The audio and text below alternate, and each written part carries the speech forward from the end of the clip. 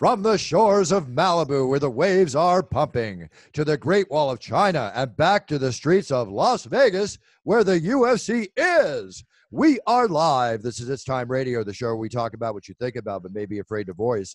Do not worry, we will talk about it for you. We talk about everything on It's Time COVID 19, President Trump, President to be Biden, sex, drugs, rock and roll, UFC, film, TV, you name it, we talk about it. And we're here to talk about a lot today. We're going to focus on some COVID talk. We have, of course, TJ DeSantis, my producer and co-host. Oh, I, I, I thought you were just going to gloss over me and get to the doc. I mean, we, time's wasting, Buff. Oh wait, he's frozen. What are we doing here, man? The doc's going to have to diagnose some internet I'm, issues. I'm going to have to carry the show. Apparently, Yeah, you got it. That's why you're on the show, Doc. Okay, we have back our resident expert, our COVID 19 expert, our UFC medical expert, emergency doctor to the stars, doctor to the stars. You name it, he does it. He's working with the NFL. He's working with everybody. Everybody wants a piece of Dr. Jeff Davidson, but you know what? They cannot have a piece of him for the next 25 minutes because you're all mine, Doc. You're all mine. How are you, Much buddy? appreciated. Uh, you know what? I'm excited to be here again. I appreciate being welcomed back, and uh, seems like it's been a while, but I think we've learned a lot in the interim, so we'll talk about it. Yeah, let's talk about it, Doc. Let's get right into the meat of the situation. First off, are you okay? Because you're on the front lines. You're you're in the front lines for us at UFC. You're you're working with the Raiders now. We'll go into that too, and some others. Um, but how is it on the front lines in Vegas now? Your emergency hospital that you work with, and all I'm reading about. Uh, just give a couple notes before you start. Attention all personnel, code red is now code green. Attention all personnel, code red is now code green. Code red is now code three. I love that kind of talk. Can you give us a little uh, input into that, I Doc? thought it A said code insight? green. Just, just a, it said code red is now code green, which just means the hospital is back open and ready to uh, provide care to all. Let's just leave it at that. You know, everything's going well here in Vegas. It's, uh, you know, listen, it's a shame. This is a city of entertainment. Um, you know, it survives, lives, and uh, works uh, on the entertainment industry, uh, which we all know has probably been the most greatly affected amongst other industries. And so um, there is a slowing of that um, the emergency departments and the hospitals are actually filling back up uh, with with patients afflicted with COVID nineteen disease. So um, I was just told this morning uh, that uh, the hospital that I practice in is one of the highest uh, in our system in holding and taking care of COVID nineteen patients. So uh, sad to report back to you two. Uh, that uh, there is again a rise and uptick in hospitalized patients. Yeah, well, you know what's what, what the news media is putting out right now is that uh, the U.S. has reported one million new virus cases in the first ten days of November alone. Uh, experts say the U.S. could reach 200,000 cases daily, which it already has reached. Texas now has become the first state to hit 1 million COVID infections. And the U.S. now is at an all time high for COVID 19 hospitalizations. Now, this goes against, to a large degree, when we last had you on the show, when you were seeing minimal activity in Vegas, to now it's flying. So, what we've gone through is we all know that the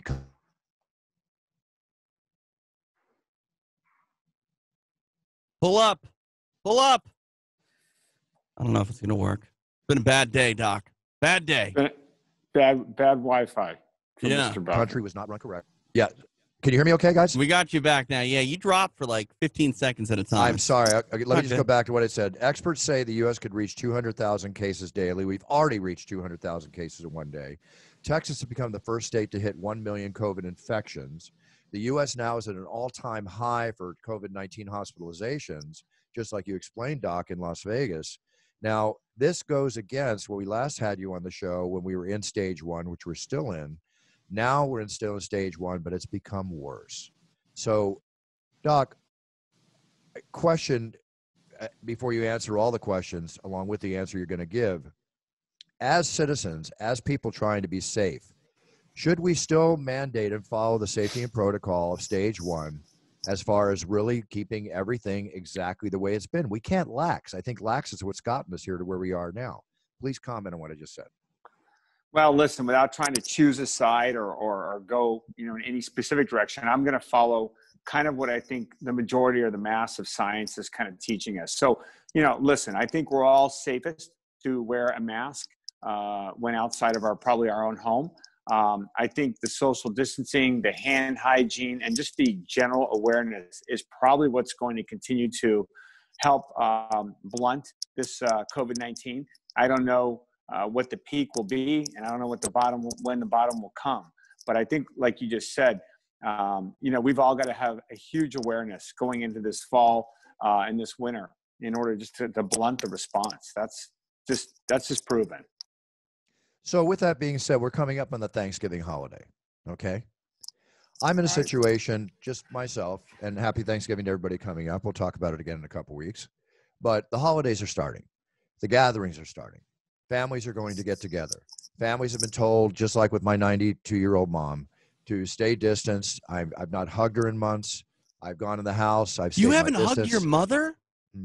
once, wow, once Bruce. when I was once when I was tested and I got home right after the test I- I- if, with a mask on. if people don't know, the, the relationship that you have with your mother is is uh, unlike many uh, other relationships. That's why it, took me off guard. I'm, I'm surprised that you've been that committed. I mean, good for you, but I'm sure that's killing you. it's killing me. I love my mom. She's Yeah. my best friend, you know, and just it's it's it's a very strong relationship. But one we've had to deal with, and of course now we're going into back into the gatherings. Uh, I have three caregivers working with my mom who have family gatherings. We all have situations. Doc, with everything going on and people trying to be safe, but still wanting to see their loved ones alone, I predict, and I'm not a doctor by any standards whatsoever, but I predict. Uh oh. I'm guessing he predicts a huge uptick in cases, and I guess that's the question. I'm with you. Yeah. Yeah. Um, while Bruce sorts his internet issues, allow me to ask a, a couple of questions quick. Um, with more uh, infections, uh, people contracting the virus, uh, we're gonna see do- it. do- all right, now Bruce is back. I'm here. Yeah. Go ahead. Right, No. you- you- Yeah, yeah. I, I don't know what's going on with your, your internet today, Buff, but it, it's unfortunate. We'll try to work through it. But uh, what I was saying, Doc, is that now that we've had more people have the virus and recover, do we know anything more about what life is like post COVID? Is it uh, something that we're seeing where people are, are having longstanding uh, effects? Because I know a couple of people that have complained about not feeling healthy. Uh, you know, months after having the virus, is, is there any information that we can go on based uh, with these people what life is supposed to be like or what we could expect post COVID? So, so a couple of great questions. Um, you know, we can take it from the mild to the more severe form of the recovery. So, you know, the good news is the majority of the people that still uh, contract the illness and recover recover completely and feel well. I mean, as we all know, many, if not most people, get a very asymptomatic or mild or mild to moderate form of the disease. Um, probably nothing more than upper respiratory congestion, maybe you know some lower respiratory symptoms such as cough and maybe a few gastrointestinal systems and some body aches and fever, but they recover and do very well.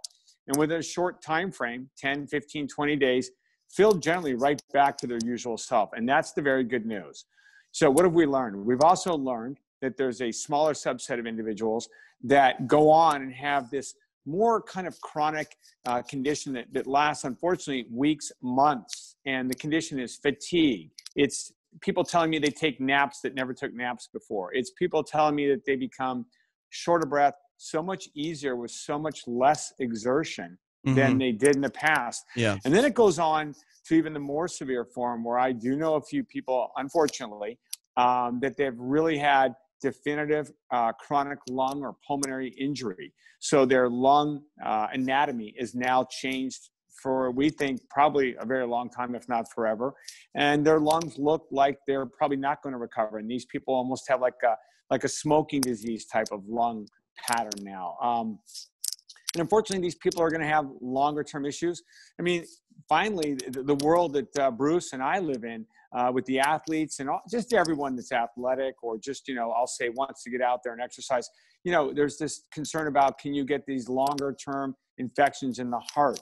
And, and we call that myocarditis. And, uh, you know, that's all out there. We don't know the numbers. Um, you know, we look for it in these people that come back and complain about symptoms. But boy, the whole gamut from almost complete recovery to a severe form of long-term illness exists. Right. Yeah. Just a real quick follow up, Bruce, if you, if you don't mind. Uh, I know a, a former UFC fighter that uh, was in peak physical shape, was preparing for a fight, got COVID, and he got COVID probably in, in June or July. And we're sitting here in November, and he feels like he can't roll the way that he used to. He can't run. He can't do any cardiovascular work uh, to the level that he he once did. And we're talking about a guy that I mean completely lived a, a clean life and always took care of his body. And he goes to the doctor, and they're like, "Your lungs look fine." Uh, I don't know if he's had his heart looked at, but what, what would you suggest for someone that's in a situation like that where they're, they're suffering these issues, doc, but their lungs at least look normal? Yeah, listen, no names mentioned. Uh, I followed probably a similar, if not the same person in the UFC who's a peak uh, athlete and uh, was in the intensive care unit, uh, even was on hemodialysis. Um, and he still had a very slow, I'll say, but positive and up, you know, uphill, but but but a recovery, but very very slow. It's been since July, and here we are out in November. Um, look, there's a lot of tests. The, you know, the physicians are out there. They're they're doing CAT scans of the lungs. They're doing echocardiograms of the heart. We're even doing M- cardiac MRI of the heart. Um, you know, trying to understand some of the pathology and some of the changes. Um, and sometimes we come up with an answer on some of these diagnostic and imaging modalities, and sometimes we don't. It's just a clinical diagnosis that uh, you know you're going to get better when you get better. And I know everyone hates to hear that, right? Because that's not an answer. No. Right. That's that is an answer right now. but we don't people. know. We don't know. It's Yeah, so new know. when you think about it. Like, Well- think about this. Virus is completely different. Go ahead, Bruce. Sorry. There's no there's also the unknown too. There was an article that came out yesterday. It's been out, talked about before but now they're talking mental after effects you know uh, uncontrollable hallucinations uh, effects on the mind. Um, it's crazy doc. I mean the only way to avoid this is to avoid it is not to get it which means all the safety and protocol we have in. Doc i know i came off the internet but did you agree with me that during the holidays we can expect a spike because of the maybe Yeah, the lack listen, of yeah protocol Listen, I mean, listen, e- everyone's put the awareness out there that we should limit travel. And even when we get together with our families, do we eat outside? Do we not share the, the same table? Do we not share the same food? I mean, these are just all things that could completely go against the traditions that we all enjoy of, of Thanksgiving and then the, and then the, the December holidays. Um, you know, will will we see a, uh, something an inflection point that uh, that goes up from this? I mean, it's all all logic would tell you yes. Um, and I don't know how to bet against that, to be honest with you. If you're from where I'm from, I implore you people in the upper Midwest do not go outside and eat your Christmas dinner because COVID won't be the issue. It'll be hypothermia. yeah be Yeah. hypothermia hey Right, doc your dinner will be cold. Your Right. dinner will be Exactly. cold. exactly. So let, let, let's just touch, before we get into the vaccine they talked about, let's just touch on a restaurant, okay? We're all going a little stir crazy being home to a certain extent, depending on your lifestyle and what you do. There's other people out there risking themselves, whether they're frontline workers or people just maybe running a, a gym, you know, coming in contact with various people, no matter what safety and protocol is being put into effect in the gym or let's say a martial arts studio or whatever. And people have to stay in business, and I want them to more than ever, of course. But Right. eating at a restaurant, okay, they come up to you, they have a mask on, or maybe they have a mask and a shield on. Wait for it. Wait for it. Come on, Buff. Pull through. Okay, and they're all doing it. Really? Again? Yeah. Am I here? Am I here? You're, you're All right. back now. You're, I'm so sorry, guys. Whatever. I'm having a COVID 19 internet issue here. So, with that being said, with the protocols in the restaurant, you're sitting there, whether it's with a date, you know, let's say I'm with a, a friend, okay? Let's say I'm with three other people that I know are safety and protocol very strongly, like immediate family. And we decide to go to a restaurant and we're sitting there and we're following all the things. How do you feel about eating out at a restaurant? Knowing that people are walking by, knowing all, all the stuff going in and out over eight hours, how do you feel about the safety factor in this day and age of eating in a restaurant outside? Well, listen, we, all want to get out of our house. And, uh, you know, everyone wants to go to the gym. They want to go to a restaurant. They want to go to a coffee uh, shop. Those are the three most common places that we probably socialize. And if you looked at the news this morning, I'm, I'm glad you, you led me right into this, uh, Bruce. If you look at the leading news this morning from AMA, American Medical Association, and American College of Emergency Physicians, uh, leading headline study says restaurants, gyms, and coffee shops rank high as locations for coronavirus transmission outside of the home. So, the three favorite places that we just mentioned that we all want to go to just to get a break in our day or get a change of the pace um, look like they're turning into the three highest risk factors for all of us to contract the COVID 19 illness. So, Right. you know, how do you balance that? I, I don't know. I mean, you know, am I going to tell people they can't go to their gym because then they can't exercise so then they're not healthy can i you know are we going to say you can't go to get enjoy your favorite beverage And are we going to say you can never go out to a, a restaurant? I don't know how to balance it. I, I think um, this is just what's the risk, what's the reward, and what kind of caution can you use when you're trying to eat or drink your favorite beverage? Well, then, with the caution to use, and what you're saying is don't do it. I mean, if you want to be 100% safe, you just can't do it. I hope you have a home that you enjoy socializing in, and I hope it's safe. And I will drink my puncher's chance in the privacy of my own home. Boo! Does that, Boo! Does that count? What a shameless plug. What, what was does that? that count as his favorite beverage? Favorite I think beverage? so. I Not saw him reaching for it. Not okay. my favorite beverage, my favorite spirit. How's that? There you go. favorite spirit. All hey, right. I, I, I, have uh, another quick question, Doc, and, and see if you uh, have had any information on something like this. I remember when the uh, virus first hit, and, and they said uh, certain uh, people of color were more um, susceptible to the illness, and, and people needed to be wary of that information. Um, another thing that I, I thought about recently was, you know, these post uh, COVID effects in, in ethnic background. I remember when um, my wife was pregnant, we had to run a test because we're both of Scandinavian descent to see if our son would be uh, affected or higher susceptible to something like cystic fibrosis. Is there any sort of uh, information on that, you know, post COVID, or are people of certain ethnicities more susceptible to those complications than, uh, say, others? I, think, uh, again, a lot of the literature continues to evolve, uh, but certainly there has been what looks like some uh, evidence that shows that certain ethnicities or even certain blood types we've all read about uh, mm. seem to be more susceptible to either, um, you know, end up uh, contracting uh, the COVID-19 and or having a more severe course. And, and, and of course, we've read about, you know, up to 14% higher in the African American population, maybe in the Hispanic population. We've read about the different blood types like A, B that seem to have a worse course. Um, so again, I, I, think you guys both know, and you've mentioned it, the, the literature will continue to evolve. The science will continue to gather data. That's the best thing we do is yeah. we gather data. So what we know today is so much better than last January, and what we'll know in six months and a year from now will be so much better than today.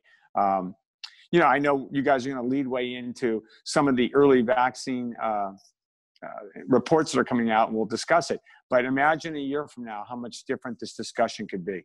Right. It's going to it's going to be widely different because now you know with Pfizer just releasing the incredible data they re- uh, they released on how the vaccine they're working on is more than 90% effective in preventing coronavirus in- infections. Then scientists are warning the vaccine might only be 55% effective.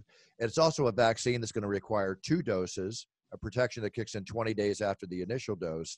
And the fact of the matter is, with all the amount of people need to be tested worldwide, much less nationwide, how many people can we possibly vaccinate within a year? I mean, they're maybe not even half the population. Then you have the other series of moms and dads that don't believe in vaccines for their kids, don't get them for anything, that will refuse to get them, which is going to continue. So this is not a guarantee. Doc, if you had no, a, if, if you if you had a crystal ball, okay, if you had a crystal ball, and, and we all have them, right? Because we all have opinions. What is your guesstimate, not to hold into you? Do you think we're going to be back to some form of normality a year from now? Or is it going to be longer? I, I say we're going to be wearing masks for years. I, I don't see that changing. Yeah, listen, I, I, think we all want to have the answer. And I think it's mostly, like you just said, everyone's collective opinion. Um, I do feel it will be years um, before we begin to feel like we're uh, working in a community and as a world normally. Um, you know, does that mean we won't go back to certain things such as work and, and all these other entertainment activities? Um, I don't have the exact season or you know what year or what what holiday we can go back. Um, but I think you're right, Bruce. I think we wear masks. We continue to use all of our social distancing and precautions for years. I think it becomes more of a habit for us uh, for the future. Um, I think that uh, as we hopefully get a hold of this virus, we learn so many lessons, but then who's to say we don't get another type of virus in five years and in 10 years? It seems like about every seven to 10 years, something comes along. This one, uh, this COVID 19, unfortunately, uh, tended to be very highly transmissible, which led it to this worldwide outbreak. I mean, I just read literally today, uh, worldwide, are actually new daily cases in the USA 132,000 uh, cases, uh, which is a new daily high. Uh, hospitalizations up to 62,000. Um, you know, so we're we're getting into the numbers that you know everyone says, all right, when do we hit herd immunity? Those are the famous kind of two words we all hear: herd immunity. You know, herd immunity can take a decade. Um, you know, listen, herd immunity. When you listen to the experts speak, is anywhere from 60 to 70 percent of a population you know, I think there's about 7 billion people plus uh, on planet Earth right now. You just have to do some real quick math to figure out that's a long time to get to that level. Real, real quick, I know you got to go, Doc, but I just wanted to fit this in on that sort of topic. Uh, have you heard anything about reinfection rates? Is this something that's going to evolve? And, and you know, can I feel confident that if I had COVID 19, that I'm not likely to get it again, or can I get it again? You know, great question. So, listen, up until uh, this last couple of months, we didn't talk about reinfection because we just didn't know, right? People were getting infected. Right now, all of us uh, physicians or people following these patients to get infected say, hey, look, after you've been infected and after that first 10 days, uh, of which hopefully you're resolved and you feel well, and we kind of say get back out there to work or whatever your daily activity is, um, we tell you that maybe you have a 90 day kind of uh, uh, time frame of which you've had an antibody, and we think you're safe. But the question is, does the 90 day antibody resolve? Does it, does it begin to trend down and then you become more susceptible to reinfection? I think time's going to tell us just like we learned. Um, so what happens this fall, this winter? I don't know, but you know, people that probably had this infection last January, February, March, I don't think probably carry the same um, antibody level within their system uh, this this fall, nine months later, that they had last fall. You know, mm-hmm. 10, 15, 20 days after. You know, now to talk about the, the, the uh, vaccine just for a moment without mentioning the companies. Um, you know, there's there's one that Bruce already mentioned that's kind of led the way that thinks it's got about a 90% or greater um, efficacy. And, and uh, you know, listen, it's going to probably get released uh, in 2020. There'll be um, they said up to 50 million doses can be released this year, and up to 1.5 or 1.3 billion doses in 2021 is their goal. Um, it's interesting. It's a kind of what's called a messenger RNA um, to deliver a coronavirus protein to your body when they give you the vaccine, which then kind of stimulates or, or gets your body to build the antibodies so that when you do get exposed to the real COVID 19, you've already got this antibody. Um, this is a brand new technology. That's why it's really interesting to those of us just trying to follow it. This wasn't a technology used in the past to build vaccines. So, um, I think there's a lot of good literature that's going to come out and a lot of good reporting that's going to come out in the next several months. I don't think we're quite there yet, but it's exciting that we have something to at least hope for. Um, you know, you'd hope going into 2021, this is something that becomes more and more available to, you know, all the specific populations that we all want to see it get to first, and then obviously spread out to the rest of the country and the world. Doc, quick question. The vaccine comes out. Are you first in line? Will you get it or you want to wait to see how you know, I, I, I got to be honest with you. I have to, I have to go with the science. And so, yes, um, my answer is this. Um, if they've followed through phase one, phase two, phase three trials, yeah, yeah. If they've gone through the trials, which I think they have, uh, I don't think anyone has cut corners. I think this is much too serious of a matter to cut corners. Um, I, I, do believe uh, in the fact that we were able to focus so much um, person power and so much um, technology and so much money just has been poured into this that I do think we could develop the right vaccines. Um, and I do think, you know, myself personally being on the front lines, working in an emergency department, um, being exposed to travel uh, like you, Bruce, I do think it's important that uh, I get the vaccine. Um, you know, they've been following the patients out about two months is the median after the vaccine trials. And that's kind of what the FDA recommends. And that will come up this November here in about two more weeks that these all these individuals have been followed, and that is the tracking time to look for adverse events. So okay. they're supposed to release information on that, so we'll know what are, if any, the adverse events, mild or moderate or severe. Okay, yeah, because that's a concern of mine. I, am going to sit back and wait a couple months until after. Um, can certainly do that again. Yeah, but here's another thing: you get the vaccine, you come in contact with the virus your body doesn't get infected. Can you be still asymptomatic and give it to somebody else, even though it's not in you? Is the virus still shedding off you or whatever? That's another big question. Has that been answered? That is that that just came up in the reports this morning too. Great question. Um, let me just Yeah, we lost your handsome face. Yeah, there. I think I think he's answering a text message. There message. you go. We, we, we Yeah, gotta, we gotta let the man go here in a second. No, I got about I got a few minutes. Um, just, tell him to listen, tell, just tell him the open heart surgery can wait a couple minutes. You're on its time right yeah, Go. There the you ER, the, ER, the, ER, the ER is crashing, but I'm going to come in a few minutes. Um, no, listen. The asymptomatic individuals, we don't know where the vaccine works in that. We don't. We don't know if the vaccine how it responds in individuals with mild to severe case. Um, there's a lot of great questions, and like we're asking these questions today, we'll probably have these answers in three or four months or six months, and then we'll we'll be moving on to the next set of questions like we always do. Well, we're hey, to listen, have you. I know we're- we're, further along than we were last Yeah. time we spoke. Absolutely. That's no question. And you know what? We're going to have you on before the end of the year for a little holiday update. And hopefully, we've got more answers before then, too, Doc. The main thing I want to tell you is I want you to stay safe because you're on the front line, bro. You're on the Much front line dealing with everything. Please stay safe. You're not just a doctor, you're a good friend of mine, and I want you to stay safe. And also, congratulations because people realize everything you've helped with the safety and protocol, the UFC, being the pioneer you are, a COVID pioneer in sports. People are after you. You got the you got the NFL after you. You got everybody after you. They want a piece of the doc because they want to be safe too.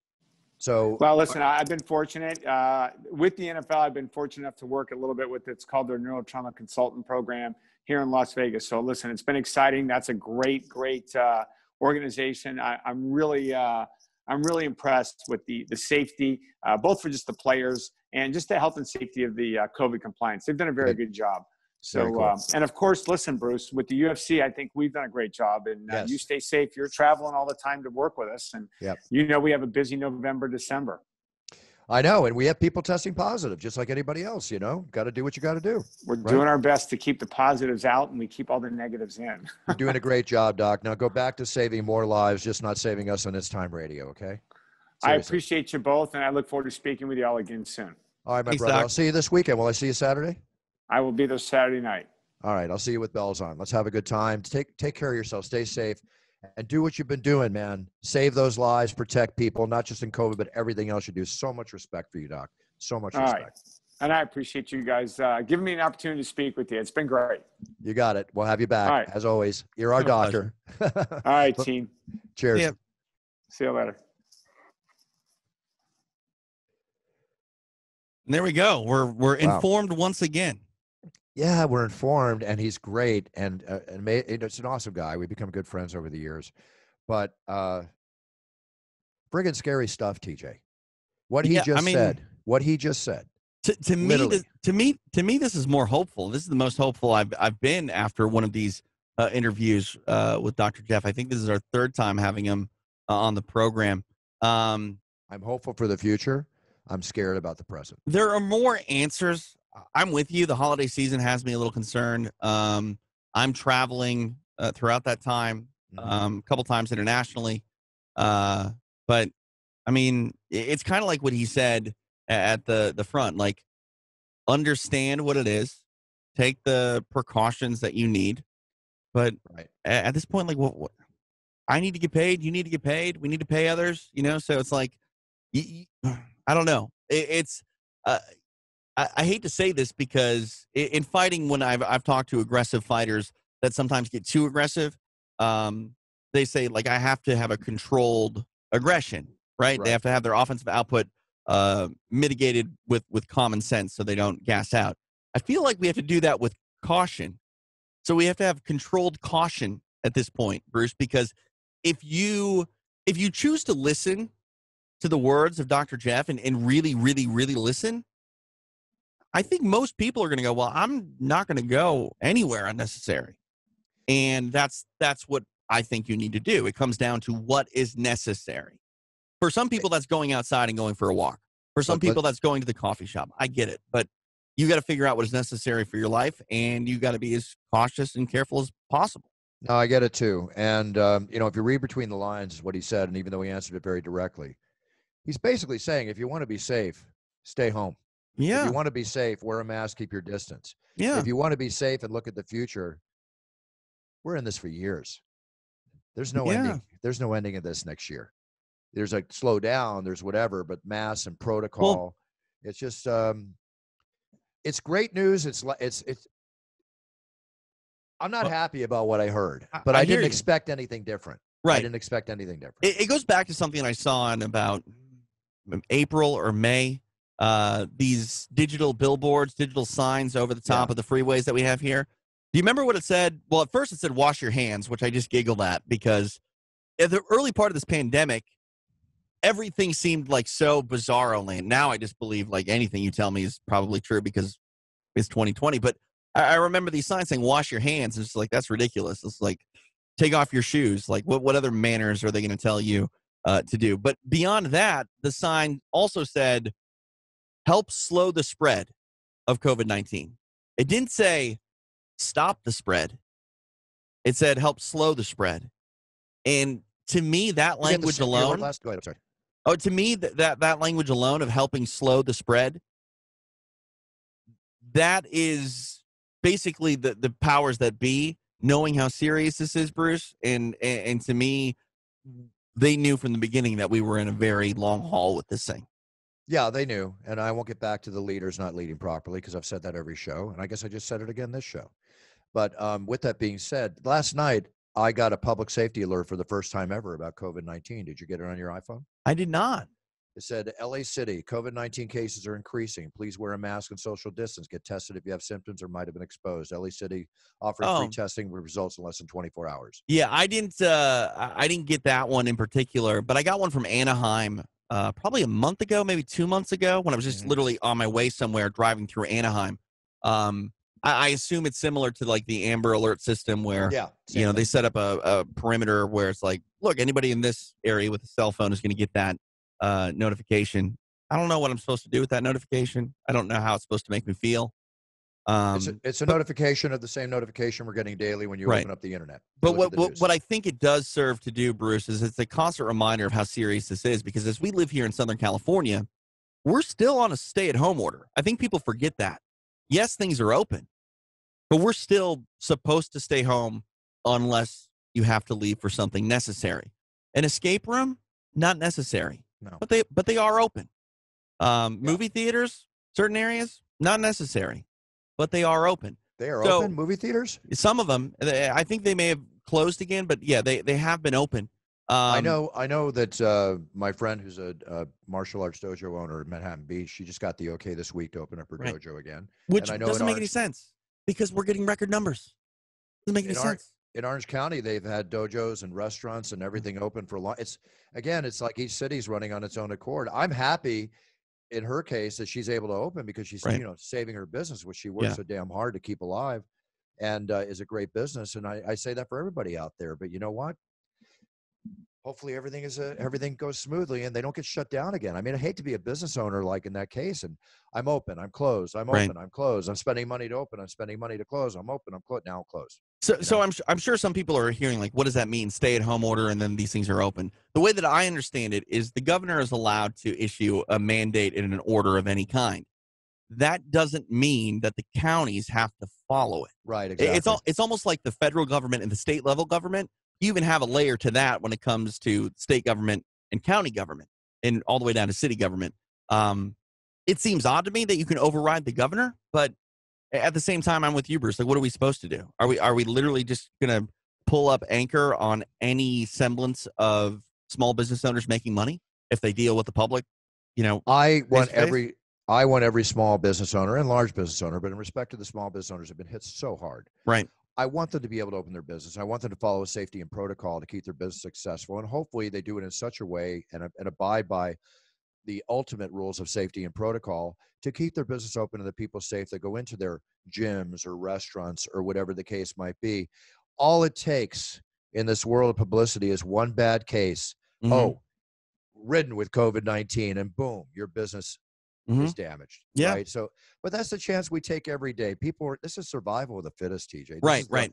this is the Darwinian theory of evolution at its peak Yeah. of, of, of reality. But but getting getting back to what you were talking about with that message, I feel that that message is a constant reminder to people that live here who go, okay, we're still at work, we're stay at home mandate, things are closed but they're open, because you look around and you see some familiar things like people going out to a certain extent.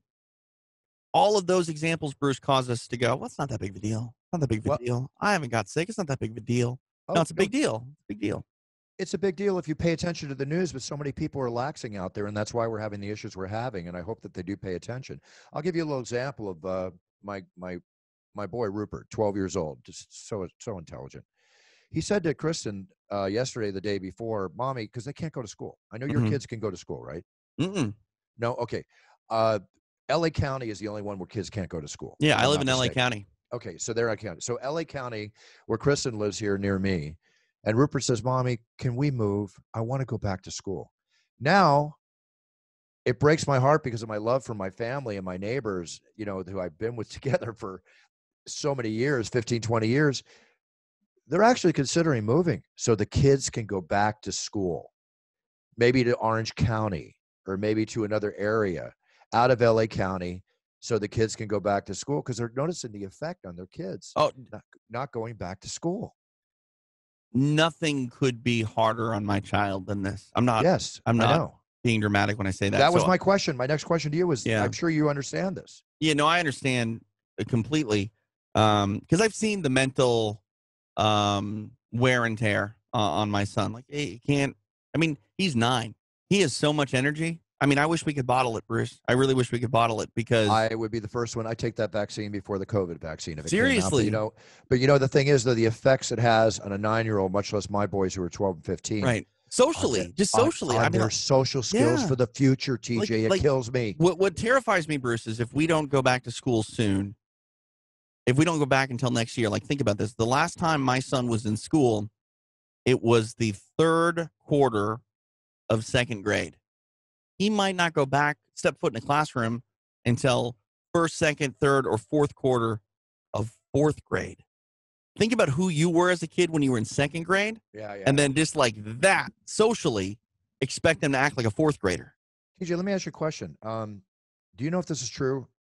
Are there private schools that are private funded schools that are open that you can send your kid to a private school and he can go to school with other kids? So t- to me, I- don't know for a fact. This is what my brain would say. Because getting back to what we're talking about, state level, county level, if a county says that a school cannot be open, Mhm. even if you're a private school, I don't think you can be open because the, the, the county is issuing a mandate based on the type of business that you are. Do you know what I mean? Like Yeah, dojos, I want to. gyms, schools, Yeah. etc.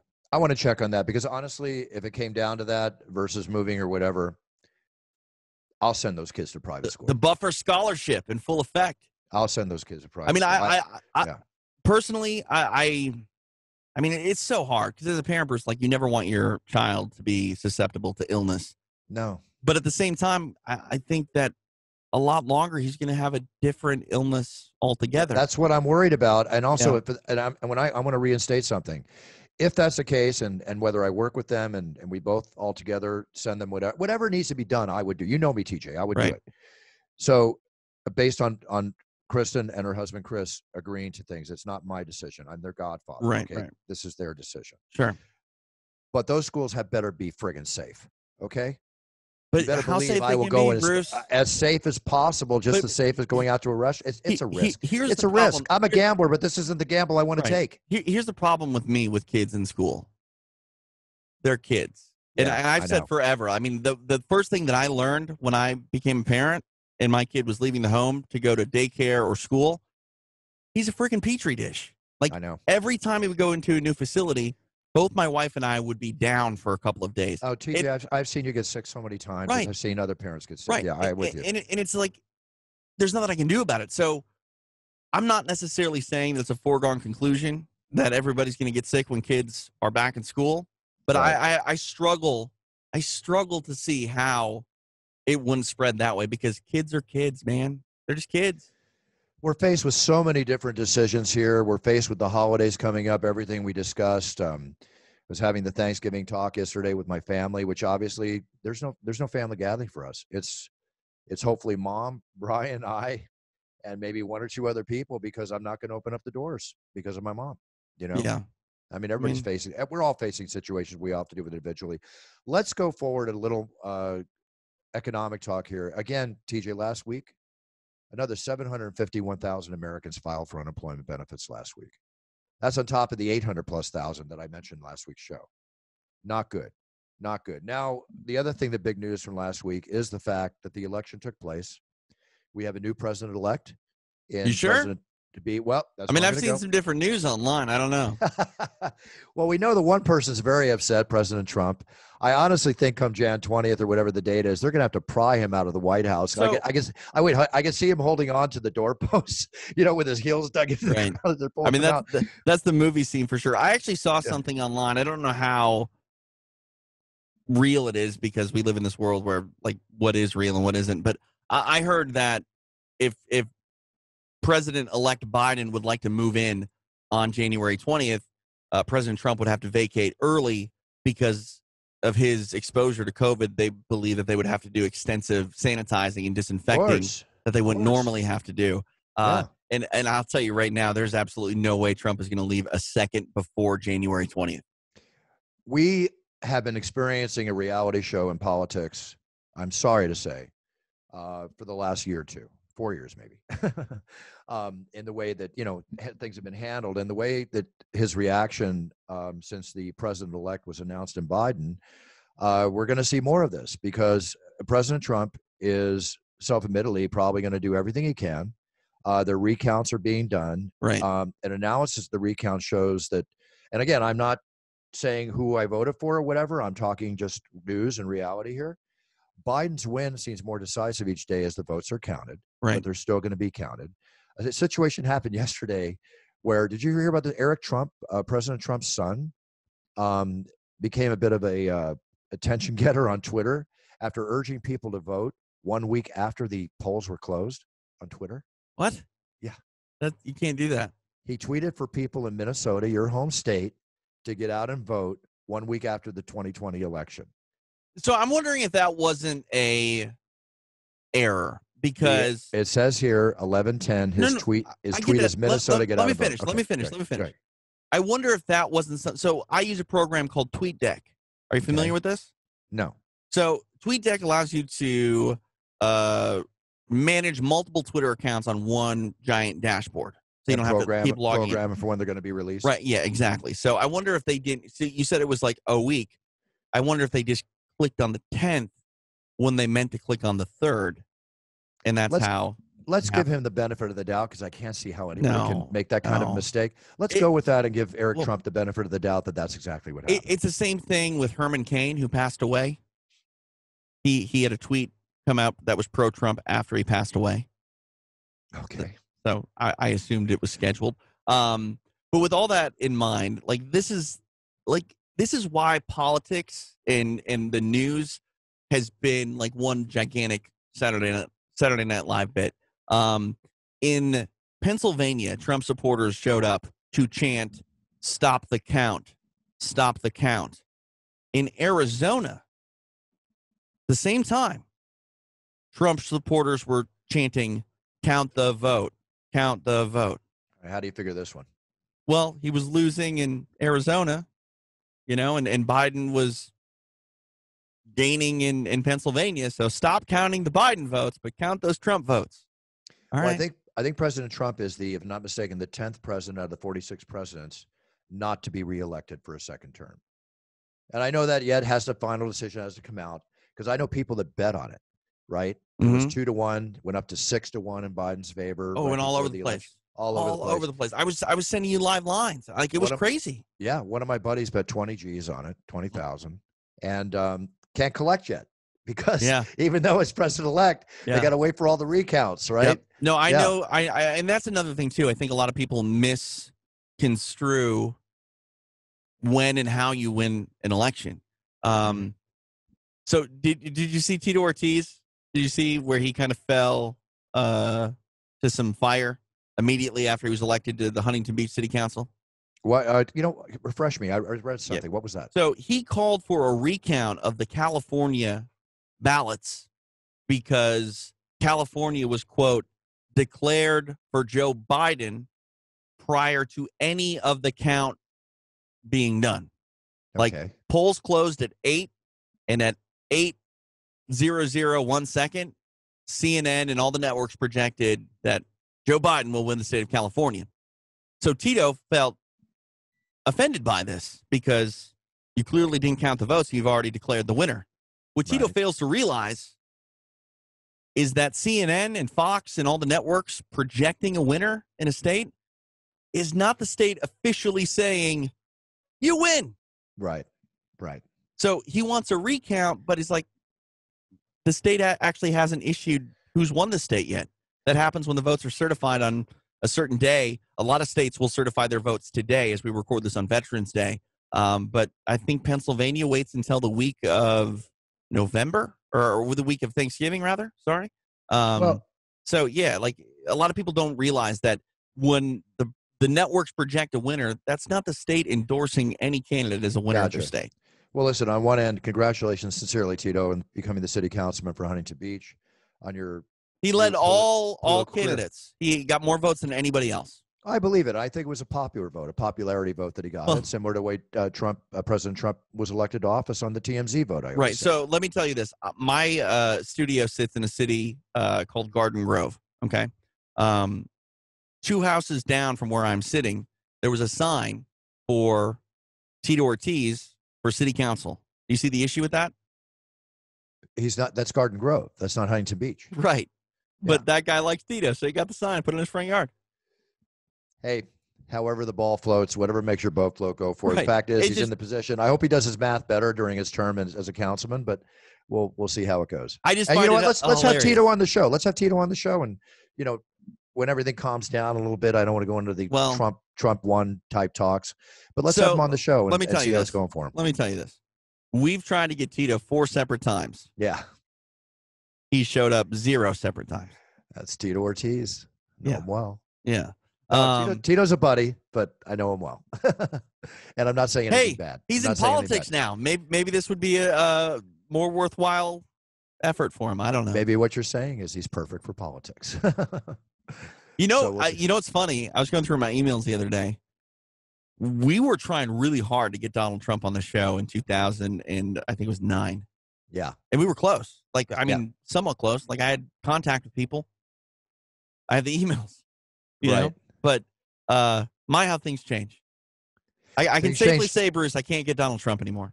Well, I, I guarantee you won't be able to get him after this either, unless he calls and says he wants to be on the show. Yeah, no, Um, I don't think it- that's. It's Trump's way or no way, I'm sure.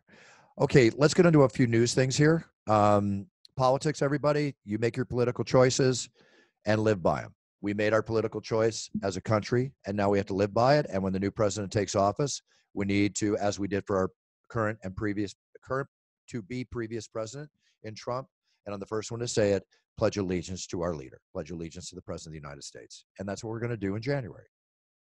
Did I lose you, TJ? No, I'm here. I'm here. I mean, That's- I'm that's here. What we're gonna, that's what we're going to do as I American mean, citizens. Believe it or not, you've been saying that for the last four years. I have been. So why would you stop? You know what I mean? So No. Yeah, that that's the thing. I I, I mean, uh, again, I don't think without saying anything beyond anything other than the words coming out of my mouth. Please don't infer anything. But I think that Donald Trump lost a lot of people that were his supporters towards the beginning of his presidency compared to the last, simply because he he did and continues to do things like he's doing right now.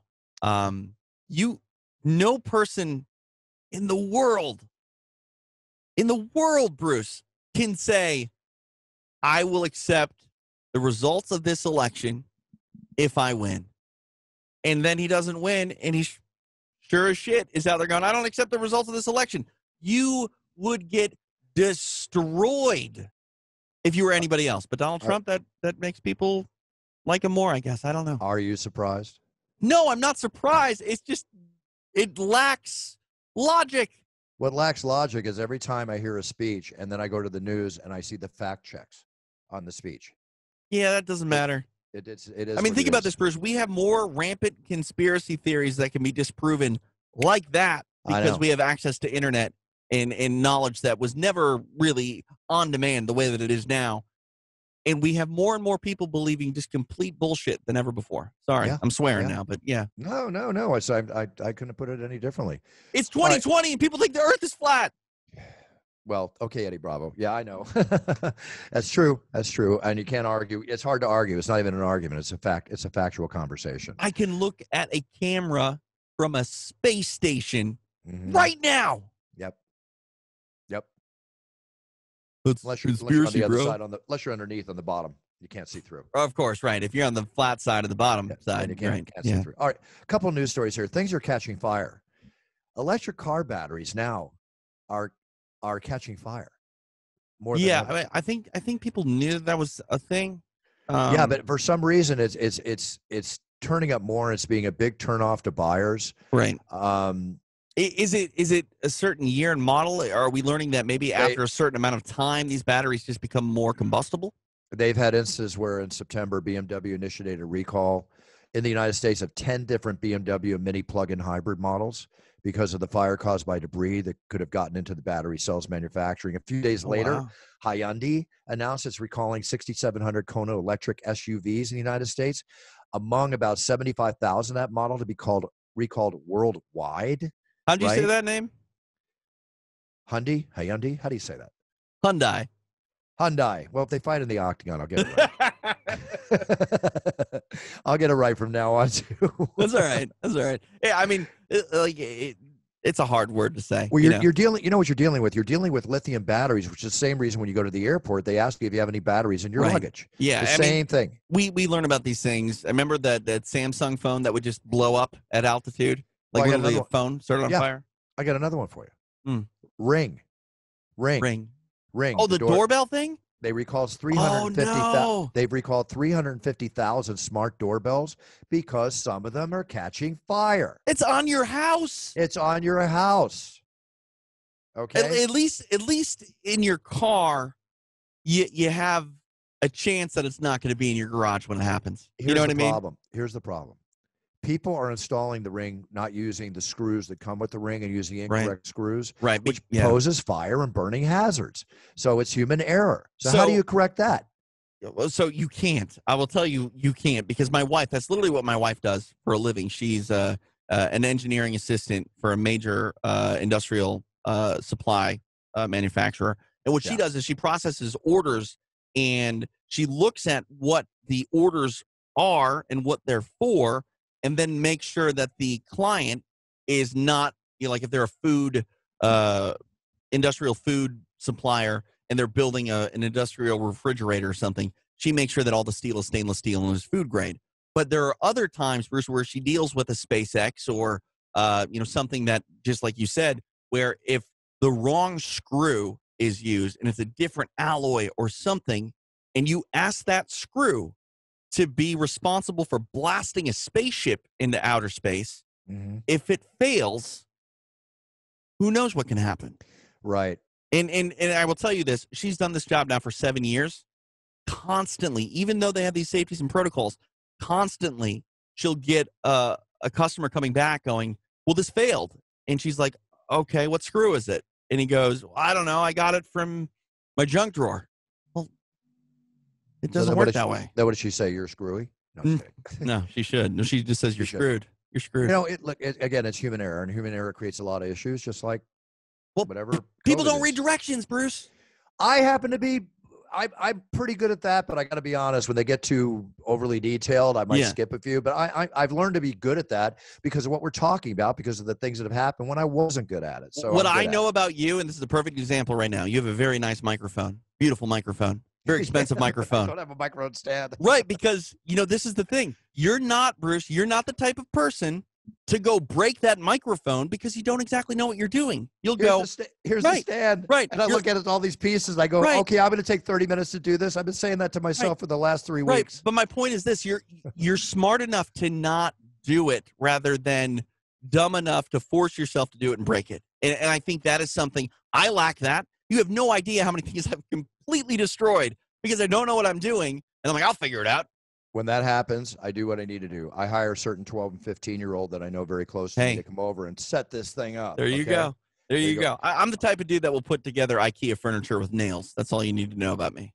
Uh, let's go into some other news here. Uh, Mike Tyson, he had on his Hot Boxing podcast, he had a friend of the show, Jeff Novitzky, on the head of uh, USADA, Mm-hmm. and uh, Mike Tyson a- admitted in depth that he used a device called a Whizzinator to pass his tests in boxing, where he would put in, you know, his wife's urine, Yeah. uh, ba- baby's urine. One time he said he used his wife's urine, if I read this correctly, but she was pregnant at the time. and he really worried about how that test was going to come back. Yeah. Interesting, huh? Yeah. I mean, it's a little surprising to me that he was able to pass for a couple of reasons. Um, one, I've seen a Whizzinator before. Believe it or not, I've used a Whizzinator before. Why not not to pass a drug test, but I worked in a radio station where a Minnesota Viking was caught using a Whizzinator. Oh, so you So we bought one. Yeah. And you know, it was it was weird. Um, but first off, as far as I know, when you are taking a drug test of that type, someone is supposed to come in and actually watch you That's do what it. I always thought it was supposed to be. Yeah. and and from what I hear, it's not a like I'll stand next to the urinal. It's I'm gonna stand next to you and look at and your watch, and watch area. you do what you're Right. Yeah. Um, the second thing, the Whizzinator, it makes a lot of noise. Oh, really? It's not quiet. Um, it's quiet when it's running for the most part, but you have to press a button. And when you press a button, if you don't cough while you do it, it sounds like like that loud. Well, it could be back in those days in boxing. I'm not saying this is the case. They were just happy to have him go in, take a wee, and come back and Oh yeah, something. I mean you know, must th- go on, you know? that, that, that's what I will say. That I remember plain as day when um, the Fertitas announced that USADA was coming in to oversee uh, the UFC. I remember sitting there going, "Why would you do this? You're just inviting a bunch of bad things." Like the idea for me, if I was running the business, was, "Well, look, if someone tests positive, that's not on me. That's on the athletic commissions. They govern it. I'm just the promoter." That's a safe bet. That's what every other MMA promoter does in the world. But they brought in USADA, which is different. And I'm pretty sure you'll agree with me. USADA, sure, it does some good things, but the good things Mhm. are maintaining is just normal. right. But it's done a lot of bad things, and bad things meaning preventing a lot of things that people wanted to see in a timely manner, etc. But those are probably good things when you think about it. The whole morality of it all, if you believe in a level playing field, it's a good thing. Listen, I got no problem with you, USADA. I think what they're doing is a great service Mhm. and it's needed Sure. and, and it has to be done. It's just a- when you are the company that benefits from putting on fights and you bring in something that can prevent those fights from happening, it doesn't make sense for the bottom line, but it's probably a smart move to, you know, uh, make your business stronger. You know, they're making the business stronger. They're doing what they need to do. It's all for good causes. And um, I'm all for it. I'm all for everything they do. Right. No question. We like a level playing field, right, Beth? Exactly. Exactly. a couple of uh, little feel good stories here. Uh, a stranger, um, car battery died Wednesday, last Wednesday, last week in Texas. So a guy pulls over to help him out, Mhm. wearing a mask, right? Mhm. Jumps his car, make sure that he can, you know, get it all started and everything, and Mhm. leave. And if, and somebody tells the guy, "Do you know who that was?" It was Terry Bradshaw. Who? The guy that stopped with wearing the, guy, mask? the no, the guy that stopped with the mask to help him out and, Wow. and get his car started was Terry Bradshaw doing a nice human little th- uh, favor for the guy. And the guy didn't even realize it's Terry Bradshaw until after he was told after he left. That's unbelievable. That reminds me of a, a story in my wife's hometown. Um, there was a guy on the side of the road. His car was broken down. A guy helped him and uh, went about his day. And come to find out, the guy that he helped on the side of the road, Warren Buffett. Really? Oh, oh, Yeah. wow. Yeah. Great.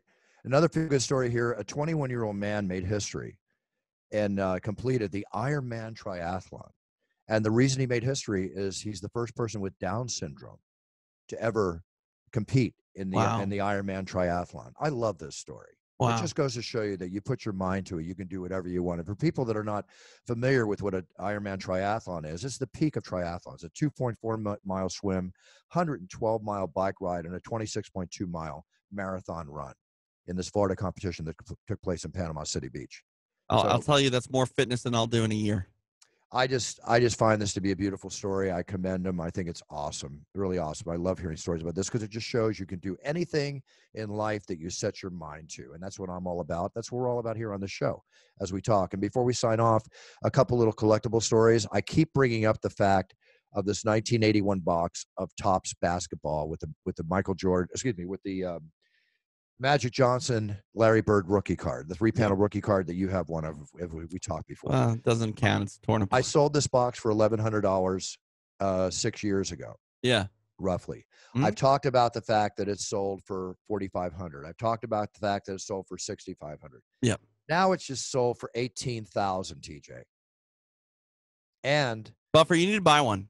I, we gotta I- stop talking I, about it. I'm gonna I'm gonna tell you something right now. You- Are you I buy think one? it's I think it's still a good investment. There's It's time to buy one. Will you buy one please? right now for 18, right? Can you buy one so we can talk about how it's getting richer and you're getting richer? Because I feel like this one that got away is a sad way to sign off every week because this goes it's been moving so much, Bruce, that I So feel like we've been talking about it every week.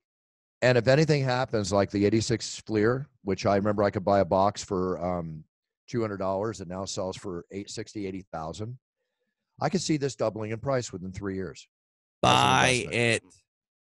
Got Christmas holidays coming up. We'll see what's up. All right, there you go. There you go. So, uh, time to celebrate all that puncher's chance uh, success. yeah, I hear you. Well, it's just it'll go in a vault somewhere. That's all. Not here at the house. It'll go in a I hear vault. you. I hear you. All right, guys. Uh, TJ, what's up? Got a week uh, to go here until we come back. Yeah. Oh, we've got it. We got a UFC this weekend. Hello. no, yeah, that's yeah. true. I, I thought you were talking about we were just like going through that week before we come back because we always go through a week before we come back. Uh, the Um, week that the week that was, I always right. say, well, here we have a good show on Saturday. Paul Felder saved the main event. Paul Felder has stepped in. Uh, he'll be in the red corner fighting Rafael dos Anjos in the main event. Uh, this is a good, solid show all the way through. Um, we've had nothing but excellent shows. Last week was an excellent show. Really had a good time doing that. This show will start early on Saturday and end early on Saturday for those of you that aren't aware of it. I'm not sure whether it's going to be on ESPN. It'll be on ESPN Plus. I'm not sure if it's going to be on What time does it start? I think first fight, uh, I know will be over by seven o'clock. It's going to be like a one o'clock start time again, give or take. So check Wait, your wait, wait, wait, wait, wait, wait, wait. listings. The prelims or the main card? The main card's going to be over. We're going to the show, as I understand it, will be over at seven o'clock, like it was two weeks ago. But just to be Like sure, Khabib? No, there was a show two weeks ago, or not last week, but a show previous that ended at seven o'clock. The I main card didn't start at one though. The main card started at No, four. no, the prelims start at one. oh yeah, that's normal. That's not. Yeah. Yeah, that's not No, great. no, That's no, not- that's not normal. The prelims usually start at four. right. But This, this, time, it, this sh- listen, listen to me. This is this is is this on regular ESPN? that is not uh, designated yet. Okay, so that you this is a show that we have more frequently on ESPN, but this is the same as the Fox shows. When they were on Fox, you were done by seven o'clock. We've only had a couple of these recently, TJ. Most of them. have I understand that, but I'm yeah. saying with Fox, you did it four times a year. oh, With okay, ESPN, great. you do it more. But yeah, The this is not this is not that out of the the bo- ordinary. the bottom line is when the show is posted and you're listening for Saturday show, it is going to start early. So check your local listings if you want to catch all the fights live. Obviously, there's going to be repeats. And uh, it looks What does like that even mean now? Check your local listings. Do I grab the TV guide? Are you in the East Coast, the Midwest, or the West Coast? I'm in the West Coast, so I'm talking Right. one o'clock and seven o'clock. No, I, I hear the you. East Coast are talking four and ten. You know. So what you're asking is, what time zone do you live in? Figure it out yeah, and do the math. check your time zone, figure it out, do your math Yeah. better than Tito Ortiz, and everything will be fine. it's just funny to think of local listings. I haven't looked at. I don't even know if they make a TV guide anymore. I know. You know what? It's, that's how I grew up. That's how they always. I'm with it you. kinda- I- no, I'm- like that. I miss it. I'm, I miss having the TV guide. I remember I get that TV guide, and I would I would just like plan out my week. You know and I only to had like four channels. Buff. What? I, I came from the days when we had three. Yeah. But uh, but the TV guide I used to love is I always did the crossword puzzle. Probably the easiest crossword puzzle known to man. If you knew anything about TV, but I was always proud that I could finish it. My dad always said, "Here, son, there's the New York Times. Let's see what you can do with this one." What I get about four answers in about an hour. Definitely difficult. Of course, I was a kid. I'll get at least twelve now. All right. This is a good show this week. Thanks, Dr. Jeff, for being on. Dr. Jeff Davidson, our resident and uh, it's time doctor, will keep us filled in. Uh, pay attention to everything we talked about today, folks. Pay attention to it. I know you're paying attention to it all the time. Just don't lax. Enjoy life, live life, but just don't lax. TJ, go ahead and tell us whatever you need to tell us before Uh, sign off. nothing really crazy. Just uh, Saturday night, Saturday evening, Saturday morning. Check your local listings. Immediately following the fights, I'll be live uh, with Dean Thomas, Ray Longo, Pro Gonzalez for extra rounds. Uh, it's on the UFC Fight Pass Facebook page, but you can check out all of our archive shows on uh, Fight Pass proper. Very cool. And everybody, I will see you from the Octagon Saturday night on ESPN Plus and hopefully on one of the ESPN channels also. Um, I just don't have that information for you right now, as we just discussed. Uh, busy week, lots of things going on. Puncher's Chance now has been, I forgot if I said this last week, but uh, the state of New York will carry Puncher's Chance. I think I did discuss this last week. All the liquor stores will be able to carry Puncher's Chance come December, January. Uh, that's I'm waiting for my bottle. Your bottle uh, should be there soon. That's all I'm going to tell you. And when it is, you let me know, and we'll have a toast over the air. Yeah, for sure. yeah. definitely. All right, everybody. I got a lot of work to do, a lot of things going on here. I hope everything is safe with you. I hope everything is moving forward. I hope your businesses, your life, prosperity, happiness, health, everything. I wish nothing but the best for all of you all over the world and um, giving you our support here on It's Time Radio. As always, everybody, TJ, thank you very much. I'll talk to you next week. Excellent show. Everybody, as we always say, set your goals, write them down, learn everything about them you can. So when you set on that path to fulfill your goals, you be the best you can be, and then you're winning. And that doesn't mean being number one. That means being the best you can be personally. You will win. And that's what we're all about here on It's Time Radio. I wish you all the best. We'll be back next week with another exciting guest, a good, solid show. But right now, there's work to be done, people to see, things to do, and fights to announce. And I will be back next week. Buffer out. Love you all. Cheers.